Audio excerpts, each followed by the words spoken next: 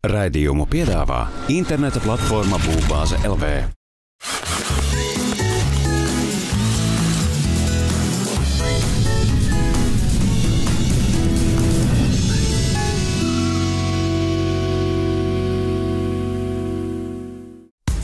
Šoreiz runāsim gan par saules paneļiem, gan energoefektīviem risinājumiem, izvēloties siltumizolāciju un ventilācijas sistēmu savai mājai. Bet vispirms ielūkosimies vēsturisko ēku fasādes renovācijā.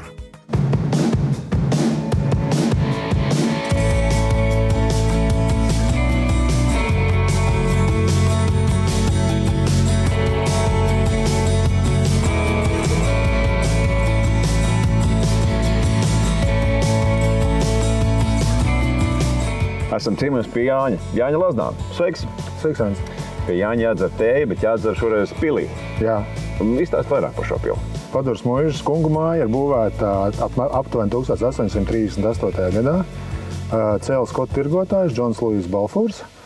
Māja ir ievērama ar to, ka viņa principā nekādas pārmaiņas nav notikušas. Viņai ir viss oriģinālais logi, durvis, krāsnis, visās istabās ir glaznējumi uz sienām un viss ir saglabājušās gan kolonas, gan apmetums, gan krāsojums saucās vietās. Bet nu daudz kas jāatjauno. Jā. Ļoti daudz kas jāatjauno. Viņi ir atstāti atstāt novārtā jau daudz gadus. Tas jau, es domāju, jau uzreiz tikko kā beidza dzīvot Balfūri. Tas ir 21. gads agrārā reforma, tad vēl skola kaut kādā uzturē. Protams, viņi tika uzturēti kaut kādā kārtībā, bet daudz kas arī nepietika finansējumu, lai visi to uzturētu tā, kā, tā, kā tam būtu jābūt. Un lēnām, lēnām viņi ir sabrukusi. Laiks zobs un viss pārējais. Droši vien, ka pie tās atjaunošanas arī jādomā tieši ar kādiem materiāliem un kādās tehnoloģijās, vai, vai kā to visu panākt, kā to restaurāciju vadīt. Un tas ir ļoti, ļoti būtiski, lai saglabātu to vēsturisko substanci. Ir jāizmanto pēc iespējas vēsturiskie materiāli un saglabāt. Tiek izmantot ļoti daudz, tiek izmantot atgūtie materiāli, kā ķieģeļi, koks un, un dažādas metāla detaļas. Bet, protams, ne visu var atgūt. Skatāmies pēc ieteikumiem. Ir daudz un dažādi ražotāji, kur piedāvā savus materiālus. Būtiski ir saprast, tas vai der un sakrits jau tika izmantots jau arī dažādos citos iepriekšējos restorācijas darbos. Ir teiksim, materiāls no mūžas fasādi, ir atjaudot kaut kādas dažādas mūrēm daļas, kur arī tika izmantots sakrits materiāli. Svarīgi jā, tā, tā vēsturiskā substance, lai māja izskatās tāda, kāda viņa bija. Un, protams, lai jaunie materiāli neēdās kopā ar tiem vecajiem, ka lai viņi nesēž dalīties vai kaut kādas citas sliktas īpašības. Tas, lai tā māja palikt arī, ja viņa tagad ir vairāk nekā 180 gadus veca, ir svarīgi saprast to, ka viņu jāsaglabā nākamajām paudzēm, lai viņi stāvētu vēl simts gadus un nebūtu tā kā. Labāk jau vienreiz redzēt, nekā simts reizes dzirdēt, vai ne? Jā, nāc, iesim, es tev parādīšu. Ideāli.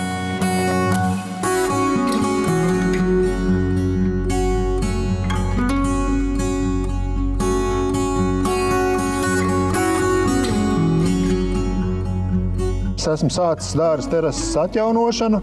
Šeit laika gaitā bija nobijusi viss apmetums, un vajag atjaunot arī kolonas cokols, kurš kaut kādā 20. gadsimta sākumā nodauzīja nost. Un neizmantoju dažādu mājās darinātu apmetumu, jo tam nekad nav kvalitātes, tur nekad nevar īsti tā saprast. Protams, ir meistari, kas to stāsta, bet tas ir dārgi un, un, un tas ir, kā es saku, sūta kvalitāte. Kāds ir vēsturisko ēku atjaunošanas process? Vēsturiskā ēka atjaunošanas process ir māksla. Ja mēs runājam par sakritu, tad tā ir mūsu māksla radīt materiālu, kurš apmierina visas iesaistītās puses, ne tikai cilvēciski, bet arī tehniski. Mēs saistībā ar Rīgas Tehnisko universitāti veicām pētījumu, kādi sastāvi vēsturiski ir izmantoti Latvijas apbūvē. Prieks par šādu sadarbību, Jā. kas ir notikusi tepat Latvijā, mūsu dzimtenē.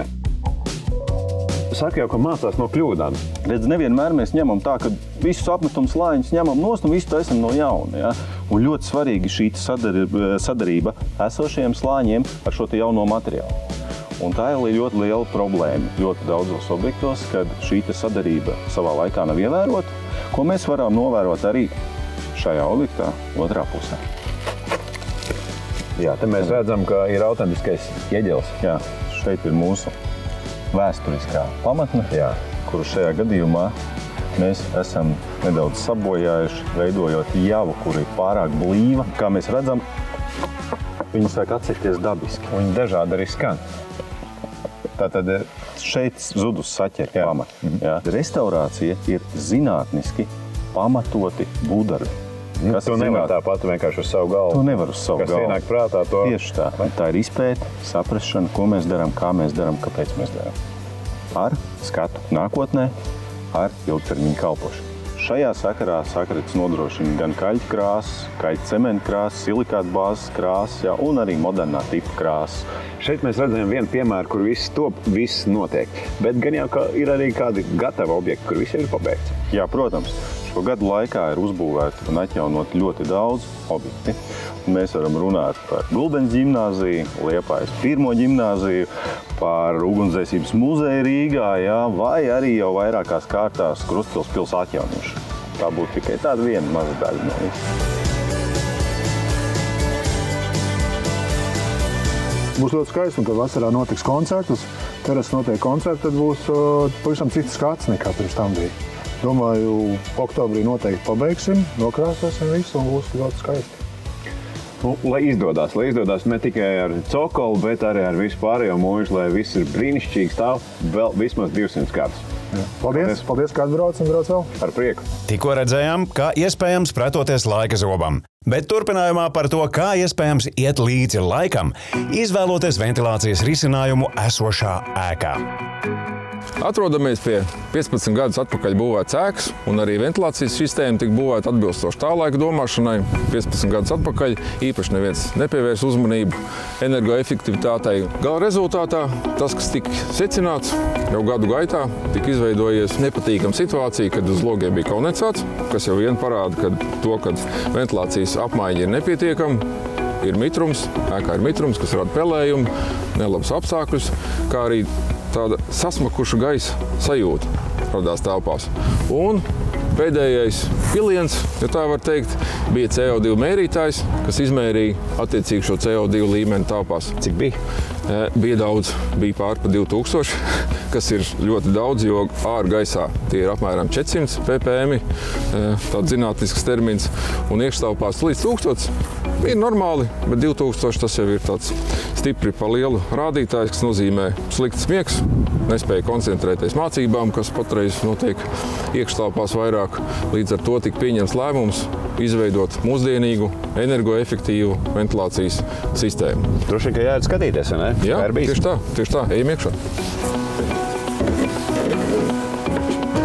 Mēs tagad kāpjam pie mājas plaušām. Mēs esam reālos bērniņos. Lūk, reāla ventilācijas un rekuperācijas iekārta. Tā tas arī izskatās. Jā, tieši tā, tāds arī izskatās. Esošā ēkā uzlikt plakanā ventilācijas iekārta, kas var droši atrasties arī augstās telpās, kas ir būtiski ventilācijas iekārtām, lai tās būtu izolētas, nebūtu kondensāti un nebūtu visādi siltuma zudumi. Jāatcerās būtiska lieta, ja gaisa vadus liekam bēniņos, ja tie ir neapsildāmi, tad gaisa vadi mums ir jāizolē. Vai nu izolējam ar šādu veidu izolāciju, vai arī kā šeit ir izvēlēts, vienkārši apberam apkārt 5 cm ekovati un šādā veidā izolējam cauruļvadus. Iekārta rūts. Bet ļoti klusi. Nu, praktiski Jā. nevar dzirdēt. Iekārta ir ļoti klusa, tā kā nevajag mums satraukties par to, kas reizēm arī cilvēkiem ir tāds stereotips, kad iekārta ir skaļa, nevarēs gulēt, būs dzirdami trokšņi. Nē, uzstādām klusinātājus, pati iekārta arī ir ļoti klusa, tāpēc nebaidamies par to, ka būs trokšņi. Noteikti, ka var atvērt šo, vai ne? Var atvērt. Īsti labi jau tā nav taisīt vaļā darbojošos iekārtu, bet eh, speciāli tev varam attaisīt. O, dzirdam jau kaut kas jau. sāk, kaut, kaut Kā vēja kaut sāk laist ārā. Un kaut kāda trokstīte dzirdam. Šeit mēs redzam plakano iekārtu, rekuperatoru, kas arī strādā. Varam redzēt, rotējošie rekuperatori griežās, atgūst siltumu. Nāk augstais gaiss iekšā un uz ēku tālāk jau plūst siltais gaiss. Sīkāk par šo iekārtu es pastāstīšu mazliet komfortablākos apstākļos.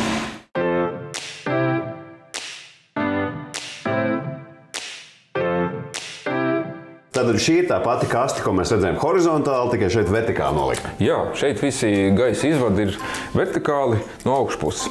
Svaigā gaisa pieplūde, filtrs. Cik bieži būtu jāmaina? Tas atkarīgs no tā, kur šī iekārta atrodas, bet nu, realitātē kaut kur vienreiz pusgadā. Šī ir tā ventilācijas iekārtas, ja tā var teikt, galvenā sastāvdaļa. Šis ir tas vērķis, kas mums ietaupa to naudu. Vairākus simtus eiro gadā. Ja ir mīnus 15 grādi šeit, pieplūdes gaisā caur rekuperatoru, izējot, mēs iegūstam nu, apmēram kaut kur 14 grādus. Tā kā mēs realitātē nesamaksājam nevienu eiro par šo gaisa uzsildīšanu. Izmantojam enerģiju, kas ir no nosūtas gaisa vadiem, lai uzsildītu šo ieplūstošo gaisa plūsmu. Un nauda paliek ģimenē. E, nauda paliek ģimenē, varam tērēt, kā vien vēlamies to. Jā. Kas ir būtiski? Iekārta ražota Zviedrijā, Arī Zviedri, Norvēģi izmanto šo pašu iekārtu. Un paredzēts skarbajām skandināvu ziemām. Latvijā arī tādas pašas ziemas mēdz būt arī.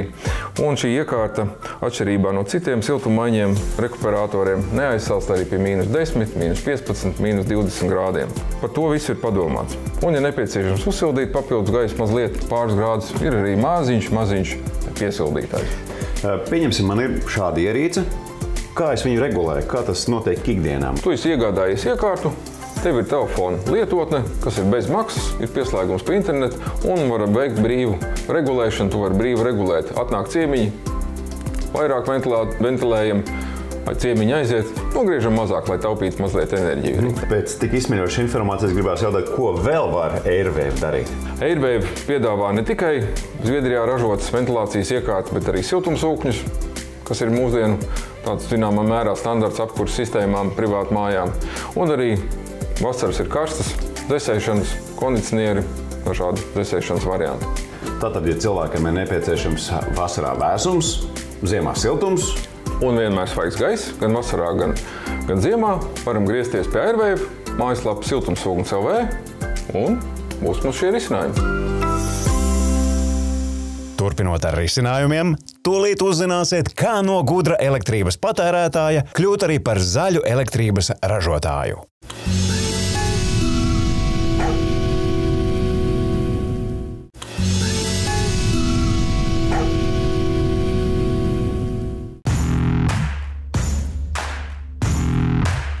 Šajā mājā viesojāmies jau vasarā, kad saules paneļi bija vēl tikai projektā. Tūlīt pat uzzināsim, kā saules paneļi tiek uzstādīti. Latvijā interese par saules paneļiem pieaug. Protams, eh, no tā nevajag baidīties. Vajag uzstādīt un vajag to darīt. No montāžas viedokļa es varu pateikt, ka uh, nav vispār bažām pamata, jo ir jumta veidi un segumi daudz un dažādi, bet mēs pielāgojam katru stiprinājumu attiecīgi priekš jumta segumiem. Šeit uh, saules paneļa sistēma gandrīz jau ir gatava. Vēl atliek uh, tikai maz, maz drusciņi, jāsavieno vadi, jāpieslēdz tīklam un ražojam zaļo enerģiju. Kolēģi uz jumta ir beiguši darbu, paneļi ir uzmontēti, piestiprināti, pieslēgti, tomēr pēdējie darbi vēl palikuši šeit, vietā, kur atrodas invertors. Tātad tā ir tā ierīce, kas to elektrību, ko ražo paneļi, pārvērtīs tajā, ko mēs varam izmantot mājās.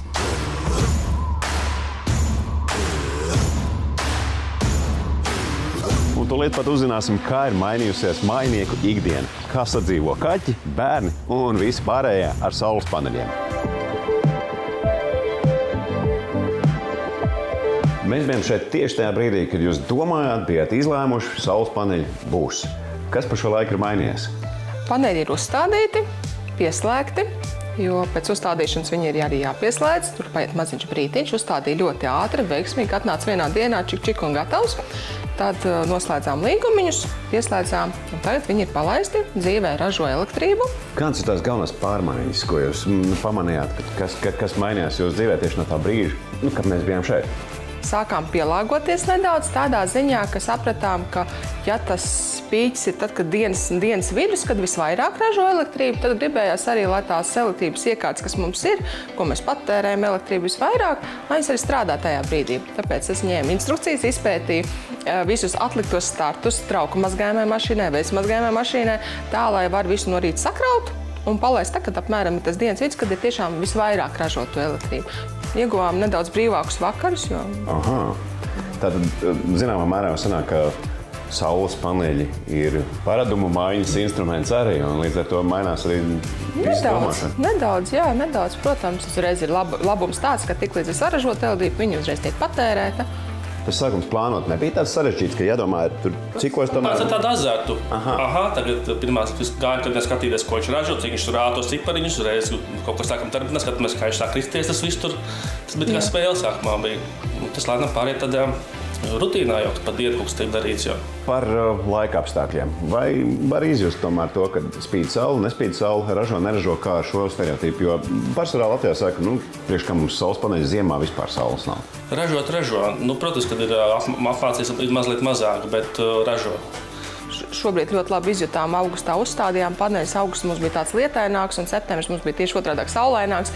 Tad, protams, septembrī vairāk saražota elektrība nekā augustā. Jā, septembrī rēķins bija patīkams. Krit, kritums bija, ja mums idejas mēnesis patēriņš bija pat 50 eiro, tad mums bija nepilnīgi 20 eiro elektrība. Patēriņš bija tāds pats. Mhm, tā nu, jūtam. Nu, jā, ir jūtam. Lai tā turpinās 25 gadus, pavisam patīkami. Interesanti, ko jūs draugi un rādījumi paziņas teica par jūsu lēmumu par labu saules baterijām? Nu, no sākuma bija tā, jā, kāpēc, vai tiešām izdevīgi un kas tāds stāstīt. Un tad cilvēki tiešām uztvērs to pirmo kaut kādu skepsi, pirms desmit gadiem kaut ko. Un tā sāk stāstīt, nu, ir pat tagad tā, ka ir zināmi klienti un cilvēki, kas ir gatavi izvēlēties to reāli apsvērt. Nemēģināja atrunāt kāds. Nē, ne, nezināju. Nē, mēs pirms tam neteicām. mēs paši izdomājām, izlēmējāmies, izlēmām. Un... Bet sākumā bija šaubas par to, ka, vai mēs izdarām pareizu lēmumu. Jā. Bet uh, šobrīd esam ieguvēji un klausoties ziņas, kas notiek pasaulē ar energolietām. Elektrības cenas kāpj. Šajā ziņā jūs esat uzvarētāji. Kurš no jums skaitīja to visu? Vīrs. Ilgi bija jāskaita. Izdevīgums? Jā, jā nu, protams, ka jārēķina plusi, mīnusi, cik tas maksā un viss pārējais. Jā. Skaitījām ilgi, un, bet tur arī vajadzīja, tā bija tāda vēlme, bija arī ne tikai uh, skaitļi. Tie skaitļi bija, nu, draugi kaut ko teica, kāds kaut ko teica, ka nevajag varbūt tās, vēl pirms mājas būvniecības pats bija. Bet tas tāds, nu, likās, ka jābūt, nu, tas, nu, ka vajadzīgs. Tas vajadzīgs, un jā. Un tā patiesībā kaut kurā brīdī jau liekas tas tā kā, teikt, tas bija tā kā pašsaprotami. Nu, tas ir, tam tā ir jābūt. Un viss. Jā. Jā. Izrādās, tepat Babītas ezera krastā top kāds ekskluzīvs un energoefektīvs projekts. Dodamies ciemos! Apkurss cenām kāpjot ar vien augstāk un augstāk, kā nekad ir kļuvis aktuāls jautājums par siltumizolāciju. Gan renovētām ēkām, gan jaunbūvēm. Tāpēc šoreiz pastāstīsim par energoefektīvu siltumizolāciju. Rēni, kur mēs atrodamies? Atrodamies tādā interesantā projektā, Laimes krasti, atrodas pie Babītas ezera. Eh, šeit celsies 26 ļoti ekskluzīvas un ļoti energoefektīvas mājas. Kā redzat, ļoti daudz eh, betonā. Būs gan eksponēts betons eh, iekš, iekštelpās, gan eksponēts betons ārtelpās. Fasādes apdare būs arī kapars, un uz jumta būs zaļais jumts. Un kas vēl droši vien interesanti pieminēt, kad apkurē tiks izmantota geotermālā enerģija. Tātad šeit būs faktiski tas pats modernākais kā piemērs, kā vislabāk tomēr, ietaupīt un kā vislabāk rīkoties energoefektīvu risinājumu meklēšanā. Es teiktu, tā, ka nu, šis risinājums, kas šeit ir izmantots no siltināšanas, no energoefektivitātes viedokļa, nu, manuprāt, ir pats pats augstākais līmenis. Ja? Nu, tas ir tas, ko var sasniegt, izmantojot labu siltumizolāciju, izmantojot konstrukcijas bez augstuma tiltiem ja? un to visu kompleksu. Tā kā, jā. Par siltumizolāciju. Nu šeit es pastāstīšu par visu sienas risinājumu. Ja? Tātad divi veidi fasādes, kā jau teicu, būs viena būs ar eksponēto betonu, ja, kad eh, vienā vai nu iekštelpā ir eksponēts betons vai ārtelpā. Tur arī izmantots ir mūsu kultūra siltumizolācija. Bet šeit tieši es pastāstīšu par ventilējumu fasādes risinājumu, kur virsū būs šī kapara apdare. Nu šeit ir ļoti smuki profili arī. Es teiktu, tā, ka eh, smukums varbūt nav tas īstais vārds, kas jo, šeit ir. Ja? Redzējis no viņa. Šis ir unikāls eh, profils, eh, Hiltī ražošos profils. Tie ir ar tādu augstumu tilta pārāvumu pa vidu, kas nerada nekādus augstumu tiltus. Tas nozīmē, ka šis profils neradīs nekādus siltuma zudumus vispār. Mm, Tātad uh, augstums tiks līdz maksimāli līdz šejienei. Nu, tur būvfizika strādā savā veidā, jā, bet uh, princips ir tāds, ka rēķinot uh, U vērtības sienu kopējo noturību, ja, tad tas nezaudēs. Jā. Un tad tas ir piestiprināts klāt pie betona. Un, ja mēs klasiski runājam par pīrāgiem, kā mums šeit sanāks, tad mums būs betons, Jā, te mums būs viena kārta, jā. te būs vēl viena jā. un ventilējamā fasāde. Atstarpa un ventilējumā fasāde. Un kas galvenā ideja, ja, kad, nu, kā jau es dzirdēju iepriekš no mūsu sacītā, ja, kad šeit tas 20, te būs 20 cm biezs uh, Kingspan kultūra slānis, ja, kas ir analogs kaut kādiem 35 cm vatēji, ja, nu, tad iztēlojies, ka tā māja būtu tik bieza, ja, vai šī gadījumā ļoti kompakta. Tad, kad pirmā kārta ants ir uzlikta, ja, tad redzam šeit sienu, kur jau visa siena ir salikta, un attiecīgi pēc tam liekas otrā kārta virsū. Otrai kārtai ir tāds speciāls melns pārklājums, kas ir domāts ventilējumai fasādei, nu, jo šeit nāks tā gaisa šķirkārta, ja, uz kuras pēc tam būs e, kapara apdare. Nu, un tad ļausim meistaram likt e, un parādīt, kā liek otro kārtu. Tā kā droši darbojieties. Paldies, Zāģis, rokā! Sākumā noņemsim izmērus nepieciešamos 31,5 un 82,5 atzīmēsim šos loksnes. Tad līnijas esam atzīmējuši, noņemsim attiecīgi augstumus, lai viss būtu precīzi. Šajā gadījumā tie ir 46 cm, lai būtu rezervīti, lai vieglāk uziet viņu virsū. Kā jau teicu, zaļiešana ir ļoti viegli. Jā, tiešām ļoti viegli iet. Un tāpat otrā pusē, jā? Jā, tieši tāpat.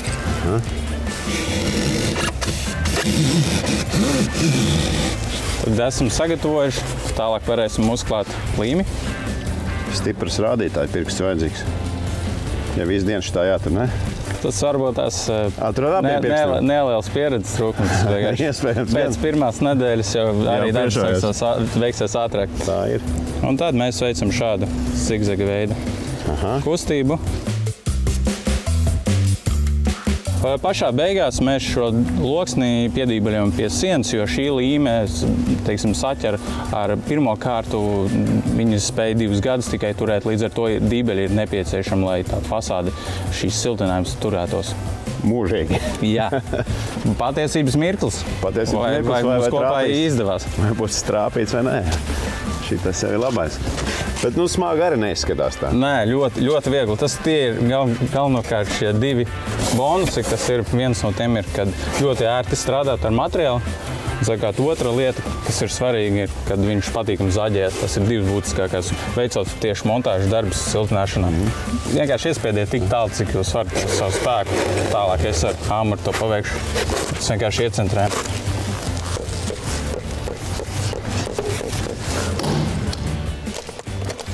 Ciksim gatavs. Tieši tā. Kronšteiniem vietas mēs savukārt aizpildām pild- pildošām putām, lai nebūtu šādi augstuma tilts un viss, teiksim, būtu izdarīts, darbs būtu izdarīts kvalitīvi un kā tas ir paredzēts. Ir ļoti patīkami strādāt, tas redzās, ar, ir redzams ar šo materiālu, cik ātri darbs virzās uz priekšu un katru dienu ir iespējams redzēt savu progresu. Vakar nebija, šodien ir. Jā, tieši tā. Tas ir patīkami. Šeit jau mēs praktiski varam redzēt finālu. Jā, te jau nobeigts viss. Tad uh, uzlīmējās virsū lentes, gan uz šuvēm, gan uz uh, dībeļiem, kas ir likti. Ja? Nu, un, attiecīgi, pēc tam nā- uz tā L profila nāk arī T veida profils. Ja? Un tad jau nāks uh, visa fasāde. Ja? Tā, te būs gaisa šķirkārta un kapara apdars risinājums. Kāpēc cilvēkiem vajadzētu izvēlēties Kingspan? Nu, ja mēs runājam tieši par kultūru, tad te ir trīs lietas, kas būs jāizceļ. Viena noteikti būs efektivitāte. Ja? Eh, Tehniski šim materiālam lambdas koeficients siltumvadības spēja 0,020. Eh, Salīdzinot, pieņemsim ar kaut kādu vati, tam ir vidēji kaut kur 0,035. Ja? Tas nozīmē, ka materiāls var būt krietni plānāks, un šeit, piemēram, 20 cm, tad reāli nu, ar citu materiālu tas risinājums varbūt būt pat 35 cm jāliek. Tātad mums sanāk plānākas sienas. Sanāk, sienas ir plānākas un tikpat efektīvas kā pie biezākām citā variantā. Un šo uh, principu es tev varu parādīt ar LEGO piemēru. Oho. Divas identiskas mājas. Un kāda šeit ir tā galvenā atšķirība? Uz tā siltumizolācijas rēķina biezuma, jā, tu redzi, ka vienā mājā mēs varam iegūt vairāk liederīgo platību, uztaisīt plānākas tās sienas, līdz ar to vairāk saules gaismas ienāks. Tā kā efektivitātei ir daudz dažādi iegūmi. Līdzīgi kā ar termoveļu, ja tu uzvelc plānu termoveļu un viņa ir efektīva, ja, tu, protams, vari vilkt arī biezu džemperi, bet termoveļi tomēr ērtāk un vieglāk un plānāk un efektīvāk. Kingsman mēs varētu arī notraktēt kā tādu celtniecības moderno termoveļu. Plāna, bet efektīva. Tā ir mājas termoveļa. Un vēl viena īpašība, kas noteikti jāņem vērā, tā ir ugunsdrošība. Šis materiāls nav putuplasts, eh, šis materiāls saskarsmē ar uguni nekūst un eh, dū, radītie dūmi ir pavisam, pavisam niecīgi. Tā, tas ir noteikti otrais arguments. Un trešais arguments ir, ka šis materiāls ar zemu tvaika pretestību, eh, kas ļauj mitrumam tikt cauri. Tā kā ja šobrīd betonā ir kaut kāds mitrums, tad tas izžūst cauri siltumizolāciju. Viņš tā kā koks laiž cauri. Jā, apmēram tā tvaika caurlaidība ir līdzvērtīga kokam, tāpēc tas ļaus izžūt konstrukcijai. Tās ir trīs galvenās īpašības, kāpēc izvēlēties šo materiālu. Iespaidīgi. Iespaidīgi, un mēs arī šajā objektā atgriezīsimies vēlreiz, jo uz jumta arī ir izmantot Kingspan siltumizolācijas risinājums ar kritumu veidotais. Tad, ja drīz redzēsimies, drīz redzēsimies. Atā! Atā! Tas šoreiz raidījumā laiks mājai arī viss. Tiksimies jau pavisam drīz. Atā!